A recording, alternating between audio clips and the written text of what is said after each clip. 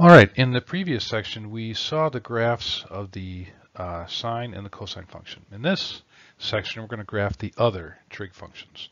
And let's start with the tangent function.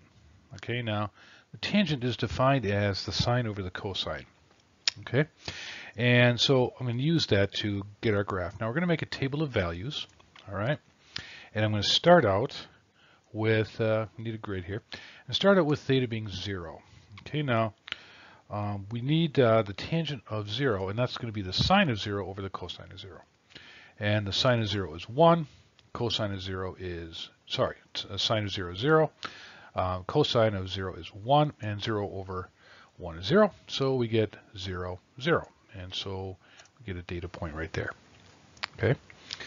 All right, now let's uh, take uh, theta as pi.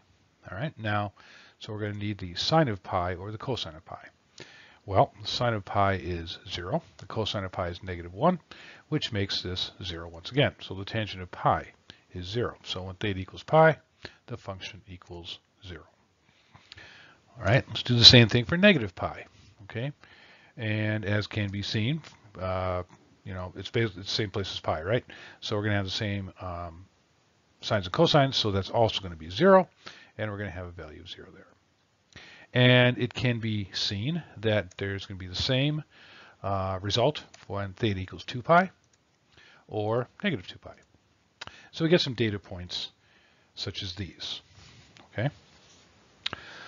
All right. Now, okay. Now let's get some intermediate values for theta. For example, let's take theta equals pi over 4. All right. So the um, tangent will be the sine of pi over 4 over the cosine of pi over 4. Sine of pi over 4 is root 2 over 2, as is the cosine. So you can see here that the, that the tangent will, result, will be 1, okay, which we can plot right here. If uh, theta equals pi over 4, the tangent equals 1. Okay, all right, well now um, we can see that it will be negative 1 at negative pi over 2. Okay, that's in quadrant 4, right? And the tangent of negative pi over 4, the cosine being positive and the sine being negative, the tangent will be negative 1. All right? And now let's go to uh, pi over 2. The sine of pi over 2 is 1, and the cosine is uh, 0. And this will result in a value that's undefined. Well, it's kind of hard to graph undefined, right? So we're going to have to take a different approach. We're going to have to we'll see what happens to the tangent as theta approaches. When, not when it's equal to pi over 2, but when it approaches pi over 2. Well, when it approaches pi over 2 in quadrant 1, in quadrant 1 both sines and cosines are um, are uh, positive, right? So the, while the sine gets closer and closer to positive 1, the cosine is 0. The cosine of pi over 2 gets closer and closer to 0. And what that means is the, the quotient will get larger and larger and larger, and it will approach positive infinity, okay? So this uh, kind of implies an asymptote, doesn't it? So pi over 2 is an asymptote, and the function will approach that asymptote and go up like this, okay? All right, now let's approach uh, negative pi over 2, all right? Now we're in quadrant 4, and in quadrant 4, the sines are negative while the cosines are positive. But the argument still is the same. As the sine gets closer and closer to negative 1, the cosine gets closer and closer to 0. And it will result in a quotient that approaches negative infinity, which also implies an asymptote. And the function will be shaped like this. Okay? Okay, now if we kind of continue into the into the next section, we can see that it's going to do the same thing here and the same thing over here. And just filling in the diagram, it's going to end up looking like this. And so this is the graph of the tangent function. Now, the uh, parent equation is y is equal to tangent of x. But the general um, function will be this. Okay, where, and now what do these letters mean? Well, they kind of mean the same thing for the cosines, uh, sort of. We're going to change amplitude to vertical stretch, but otherwise the A is the vertical stretch, the B is the horizontal shrink, the C is a phase shift, okay, and a D is, is a vertical shift, okay? All right, I may have said uh, horizontal shift, I meant horizontal shrink. Okay, eh, now note, we have to be careful about this. The period of this function is pi. Notice it repeats itself after values of um, when theta gets larger by pi. For, it goes from negative pi over 2 to pi over 2. That's a pi displacement. And then it repeats itself after that. So this function, the sine and the cosine had a period of 2 pi, but the tangent function has a period of pi. Okay? And then that's going to bring about this relationship for b. The period is equal to pi over b. Okay, and we're going to be using that a little bit later on. Okay, actually we'll be using it right now. We're going to um, graph three periods of this function. Okay, now as a visual, I want to have uh, the general relationship. Okay, and so I'm going to identify A and B, and then I also want just a just a visual uh, for the graph so I can kind of transfer from here to its transformed function, right? All right, now note that the, the tangent is zero. I want to get a data point when theta is equal to zero. All right, now the tangent of zero is the same thing as the sine of zero. The cosine of zero, and we already found from the previous stuff that it was zero. Okay, so I can get a point zero, zero right there. Okay. Okay, Next place I'm going to go is the period. Okay, now the period, pi over b, uh, we, we know that b is equal to 2. So this gives a period of pi over 2. Note in the original function tangent, it had a period of pi. This has a period of pi over 2. Here's the horizontal shrink. This horizontal part has been shrunk down to 1 half its previous value. So instead of the asymptotes being at negative pi over 2 and pi over 2, they're going to be shrunk down, and they're going to be at negative pi over 4 and positive pi over 4. Okay, shrunk down by a factor of 2. All right. Okay, we now also know that there's a vertical stretch of 2. Here, that's the A. Okay, so instead of the, the tangent function being, now remember what the tangent at pi over 4 was. The tangent of pi over 4 was 1. So that point is right here. But by vertically stretching it by 2, it is no longer at, at, uh, at uh, 1, but now it's at 2. So halfway to pi over 2, this function here was 1, but over here it's 2 because it's been vertically stretched by 2. Likewise, on this side, where it was, you know, negative pi over 4, um, negative 1, here it's going to be negative 2. All right. and then if we connect the dots, we get something like this. All right. Now they did want us to graph three periods of this. Okay, this is one. So I'm going to get a period here and a period there. And that completes this example.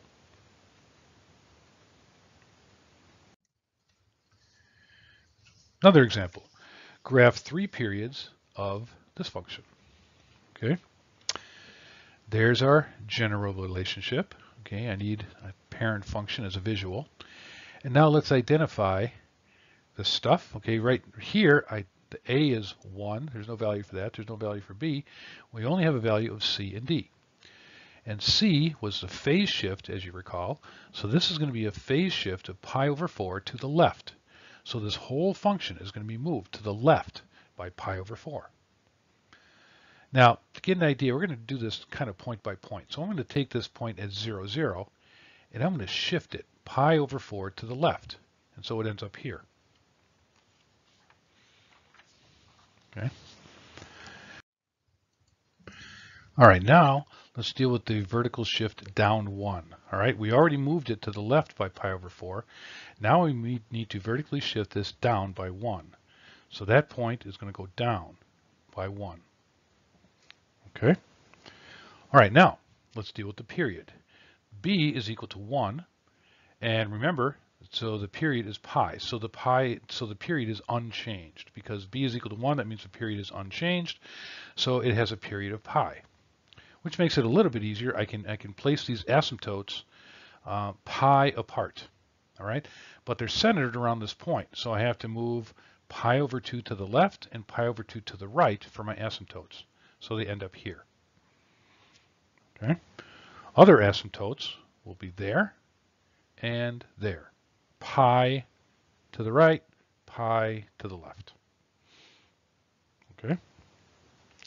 All right, now let's place uh, the other, see these other points on the axis of our parent function? We're going to place them here, but remember they've been vertically shifted down. They're between the asymptotes and they're shifted down one. So they're there and they are there. And then they're going to have the same general shape as this. They just, really this function has just been shifted to the left, pi over 4, and then down 1. They will have the same general shape. They're not stretched, they're not shrunk, horizontally or vertically. They will, they will look the same, they've just been shifted. And that completes this example. Okay, now let's look at the cotangent function.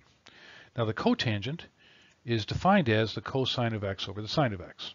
It's the reciprocal of the tangent, right? So let's get a table of values once again. And this time I'm going to choose pi over 2 to, to begin. And the cotangent of pi over 2 will be the cosine of pi over 2 over the sine of pi over 2. And that can be readily seen to be 0 over 1 or 0. So pi over 2 will have a uh, value 0 there, as we plot here. Now, let's go to pi over 4 the cosine of pi over 4 over the sine of pi over 4. Both of those are root 2 over 2, and that results in a cotangent of 1. And that's going to be right here. Going to 3 pi over 4, which is in quadrant 2, the cosine is negative root 2 over 2. The sine is positive root 2 over 2. Their ratio will be negative 1. And so 3 pi over 4 will have a value of negative 1. Okay. And then once again, we uh, really can't go to uh, pi or 0 or negative pi because the sine of, um, of those values is 0 and we get something um, undefined and so instead we have to take this approach where we approach these values. Okay, so in these individual quadrants we have to have that discussion. And so as theta approaches 0 in quadrant 1 where both of them are positive, the sine um, gets smaller and smaller and smaller as the theta approaches um, zero. And so the function will approach positive infinity. Okay? And so we'll get something like that. As theta approaches, and we have the presence of an asymptote then at x equals zero. As theta approaches pi, Okay, once again, the sine gets smaller and smaller and smaller. This time we're in quadrant two where the cosines are negative. So something negative over something that gets smaller and smaller and smaller is going to approach negative infinity, which will imply another asymptote at x equals pi, and the function will go like this. Okay? Filling in the other periods, okay, we're going to get uh, our zeros there, and the function will repeat itself like that.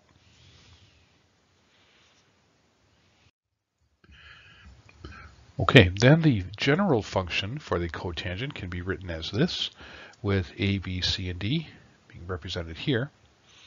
Note that the period here is the same as the period for the tangent function. It repeats itself after values of pi, all right, 0 to pi, and then pi to 2 pi, etc. So the period is pi, and then it's related to b by this relationship. All right, let's graph this slightly more complicated example of a cotangent function. All right, as a visual, I want to get the parent function over there so we can see. And we have these um, uh, labeled as A, C, and D. Okay, the first thing we want to deal with is uh, the phase shift. Now it's important, in our previous examples with the tangent, we had a point at 0, 0 that we phase shifted. It's important that you focus on the zero part rather than the point part. Okay, so instead of shifting the point, this time we're going to shift the asymptote at x equals 0. All right, we always deal with the um, x equals 0 um, thing first. W whether it's a point or an asymptote, we always deal with that first.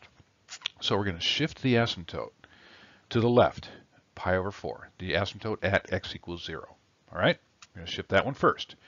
Then we're going to deal with the um, other asymptotes. Since b is equal to 1, it has a period of pi, so the, so the period doesn't really change. It's just yeah, the asymptotes don't change in um, in their width, they just change their location by um, pi over 4 to the left. So shift them all pi over 4 to the left. All right, so once again, it's important that you deal with whatever's at x equals 0 first. If it's a point, shift the point. If it's an asymptote, shift the asymptote. Do that first. Okay, now we can shift the points because the points are halfway between the asymptotes. All right, so we can um, shift it. And then notice that we have a vertical shift of, one, of positive 1. So now we're going to vertically shift it. So we place the point between the asymptotes, essentially shifting um, this point pi over 4 to the right, uh, I'm sorry, to the left, and then we're going to vertically shift it up 1. Okay? Okay, then we deal with the vertical stretch last.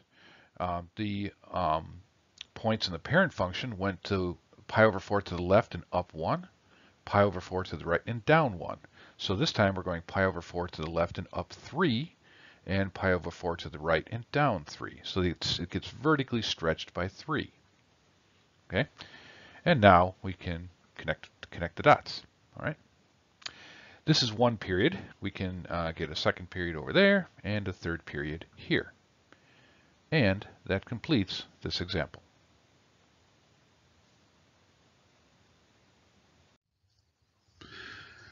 Now let's get the graph of the secant function. Uh, the secant function was defined to be 1 over the cosine. All right, and we want to get some, some points to, to plot. So what we're going to say, we're going to take a little different approach than the table of values. We're, instead, we're going to send like this. The secant of x is 1 when the cosine is 1. And where is the cosine 1? Well, the cosine is 1 at values of x equals 0, 2 pi, negative 2 pi. And so we can plot these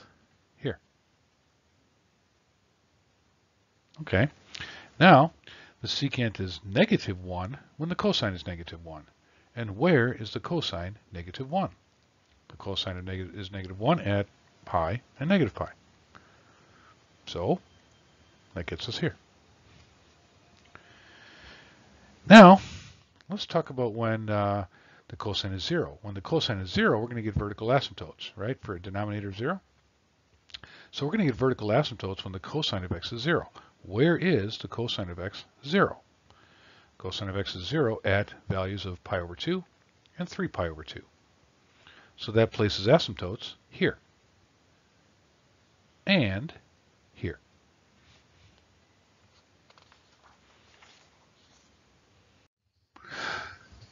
All right, now what happens, uh, what, what happens to the function between these points and the asymptotes? Well, for this, we're going to focus on um, as values approach again. Okay, so in quadrants 1 and 4, the cosines are positive. All right, but as x approaches pi over 2, the cosine approaches 0. Okay, and if the cosine approaches 0, then this quotient approaches infinity. And it will be positive infinity because the cosine is positive. So, as this as we approach pi over 2, okay, and negative pi over 2, the function approaches positive infinity. So we're going to get a shape of graph that looks like this. On the other hand, in quadrants 2 and 4, the cosine of x is negative. So we can make the same argument. As the values of x approach cos, uh, pi over 2, the cosine is once again going to approach 0. But since it's negative, the function will now approach negative infinity, as it will in quadrant 3. So the function does this.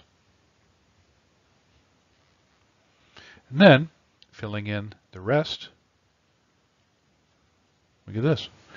So this is the secant function.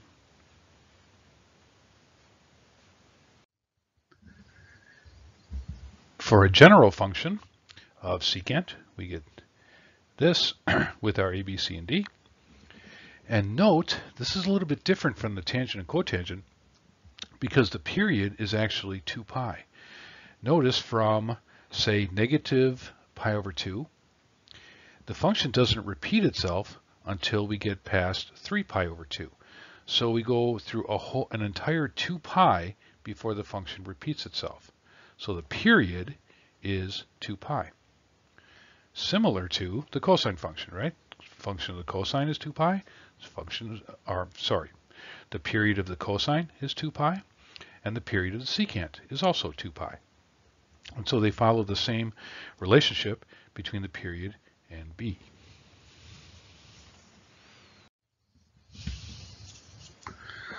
So now let's graph three periods of this function.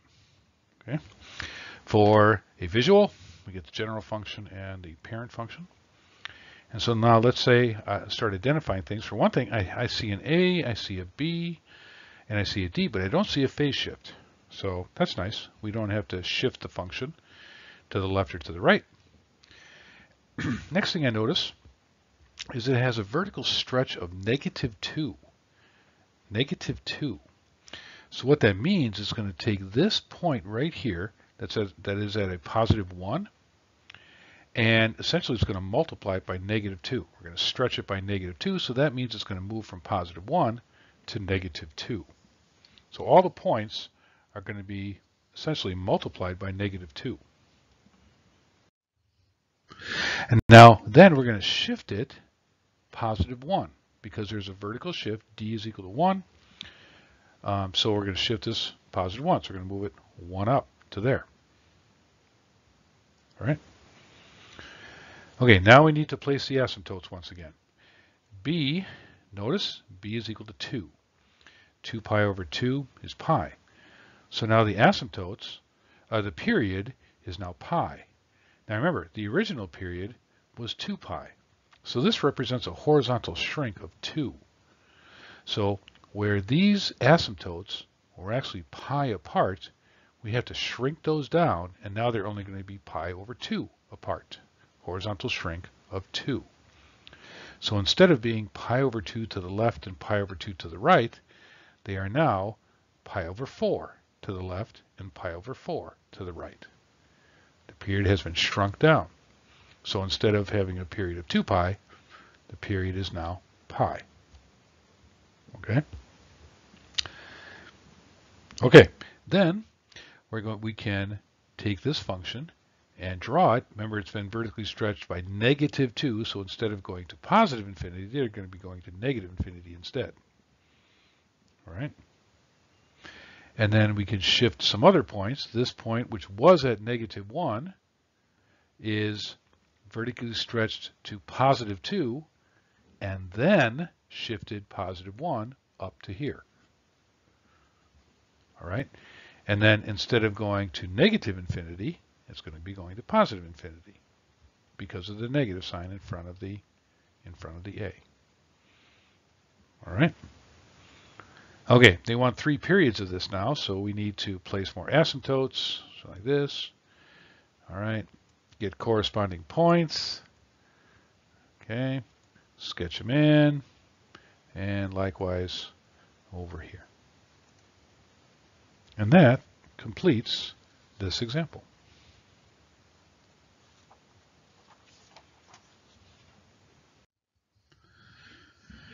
One more function to talk about, the cosecant function. The cosecant is 1 over the sine. All right. And now we can make the same type of analysis as we did for the secant function. The cosecant is 1 when the sine is 1. Where is the sine 1? Well, that's values of x of pi over 2 and negative 3 pi over 2, for example. So we can get there and there. Where is the cosecant? Negative 1. Well, this is when the sine is negative 1. And the sine is negative 1 at values of negative pi over 2 or positive 3 pi over 2, which we can now graph here. And now talking about when the sine is 0, that will result in vertical asymptotes. The sine is 0 at values of 0, pi, blah, blah, blah. So now I can get values like that for the vertical asymptotes. Okay. All right. Now, we do the same type of analysis. We've got to fill in between the point and the asymptotes. In quadrants 1 and 2, the sine is positive, right? So, as x, as x approaches 0 and pi, the sine approaches 0. And if the sine approaches 0, the cosecant approaches positive infinity. All right, so in quadrants 1 and 2, the sine as it as it approaches, or the uh, function as it approaches the asymptotes, is going to go to positive infinity. In quadrants 3 and 4, the sine is negative. So in quadrants 3 and 4, as the function approaches the, approaches the asymptotes, it's going to go, it's going to approach negative infinity. And it's going to look like that. Right? and then filling in for the other periods, the parent function is going to look like that.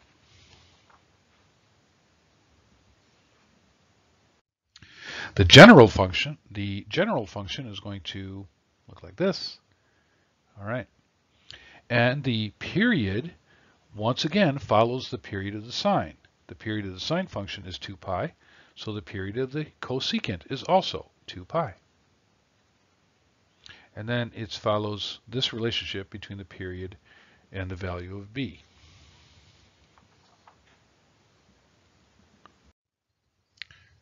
Okay, as a final example, we're going to do this uh, of the slightly more complicated cosecant function. All right, so I'm going to get my visual parent function over here, and this is labeled A, B, and C. Now, the first thing I want to focus is there is a phase shift. I want to focus on that one. Okay, and as before, we want to focus on the phase shift of the thing, either the asymptote or a point that is on the y-axis or at x equals zero. Okay, in this case, it's an asymptote. So we're going to phase shift this asymptote to the right. Notice it's to the right because it's um, negative, it's minus pi over 4, so it's a phase shift to the right um, of pi over 4. So we're going to take this asymptote, we're going to shift it to the right by pi over 4. Okay. All right, then I'm going to focus on the period, and the period in this case is pi. So this is a horizontal shrink of 2 once again, where the asymptotes, or the whole function, is shrunk um, by half. And this allows us to place the other asymptotes. All right, so remember the uh, cosecant function has a period of actually 2 pi, going from 0 to 2 pi. 2 pi to goes to the one complete function of the cosecant is the same period as the sine function, right? Cosecant's 1 over the sine. Sine has a period of 2 pi, so the cosecant also has a period of 2 pi. Well, now that period is going to be pi. So instead of the um, asymptotes being um, pi apart, now they're going to be pi over 2 apart. Okay, so we're going to place them like this. All right. Okay, next we're going to focus on the points now. And the point to the right of the asymptote that was at x equals 0, the point to the right is, on the, is at positive 1. So we're going to take that point to the right of that shifted asymptote and move it to and place it at positive 1. Okay. Now, note that had we shifted this point to the right a, a positive pi over 4, we would have ended up at the wrong place. We would have ended up over here. And this is why we uh, shift whatever's at x equals 0, be it a point or an asymptote, we shift that one first and then work from there. Okay, and this is why, because if you had placed the point pi over 4 to the right, you would have gotten an incorrect, you're going to end up with an incorrect answer. Okay, so that's why that's why we did that. Otherwise, you would have ended up with the wrong answer. So the order is focus the uh, or shift the object, point or asymptote, um, at x equals 0, shift that, and then work from there. Okay. All right, and so now we have this point, okay, but we still haven't dealt with the vertical stretch. There's a vertical stretch factor of 2. So instead of being at positive 1, it's going to be at positive 2. Okay? All right, and then we've, cut, we've covered everything. There is no vertical shift. There's no D value, so uh, we're done as far as that stuff goes. And then we, now we can place the other points as like so. Okay, and then draw the function in, and uh, then we're done. This completes this example. Okay, so I want to reiterate. Uh, if you have a phase shift, then, then shift the object at x equals 0 first, Then focus on the, the period to place the other, to place the asymptotes, okay? Then place the other points, then deal with uh, any stretch and shifting that needs to go on with the with the points. Well, and uh, work from there. Okay. All right. Now you're in a position to try the uh, practice problems.